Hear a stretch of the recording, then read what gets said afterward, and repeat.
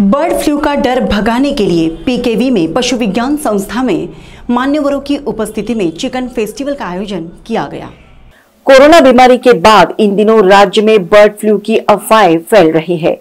अंडा एवं चिकन खाने से बीमारी फैल सकती है।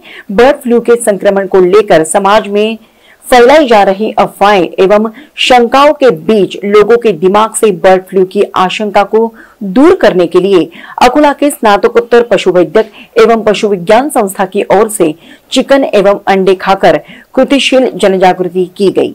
बर्ड फ्लू की अफवाहों के चलते करोड़ों रुपए के पोल्ट्री फार्म व्यवसाय की मुश्किलें बढ़ गई थी। लोगों के दिल से बर्ड फ्लू की बीमारी का डर भगाने के लिए इस कार्यक्रम का आयोजन किया गया था। इस अवसर पर निवासी जिलाधिकारी प्राध्यापक संजय खड़से, एसडीओ डॉक्टर नीलेश अपार, पशु संवर्धन उपायुक्त डॉक्टर तुषार बावने, जिला पशु संवर्धन अधिकारी डॉक्टर गजानन दलवी, जिला सूचना अधिकारी डॉक्टर मिलिंद दुसाने, अधिष्ठाता डॉक्टर अनिल भिकाने उपस्थित थे। इस अवसर पर उपस्थित अतिथियों ने बर्ड फ्लू को लेकर आम नागरिकों में फैले भय को दूर करने के लिए चिकन तथा अंडे खाने पर बल दिया। उन्होंने स्पष्ट किया कि इन चीज़ों को कच्चा न खाए बल्कि इन्हें उचित मात्रा में पका कर ही खाए, जिससे बर्ड फ्लू नहीं होगा। अब तक किसी भी मनुष्य में बर्ड फ्लू होने की कोई घटना या जानकारी सामने नहीं आई है। कार्यक्रम का सूत्र संचालन डॉक्टर बनकर ने प्रस्तावना डॉक्टर मिलिंद थोरात ने, जबकि आभार डॉक्टर मंगेश वड्डे ने माना। आयोजन के दौरान उपस्थितों ने चिकन एवं अंडों के विविध डिशों का स्वाद चखकर बर्ड फ्लू के डर को दूर भगाने का प्रयास भी किया।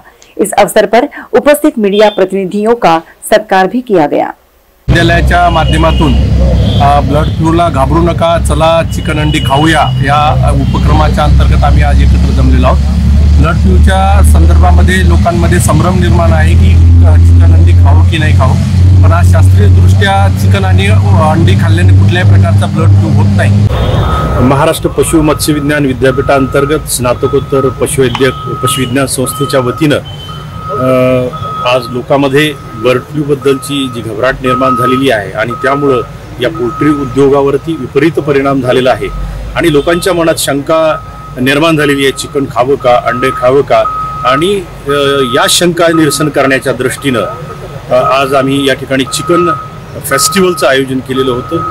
या चिकन फेस्टिवलच्या माध्यमातून कृतिशीलतेनं या अकोल्यातील सर्व मान्यवर व्यक्तींच्या उपस्थितीत कृती कार्यक्रम घेण्यात आला ज्यामध्ये अंडी आणि चिकन याचं प्राशन करण्यात आलं शेवण करण्यात आलं.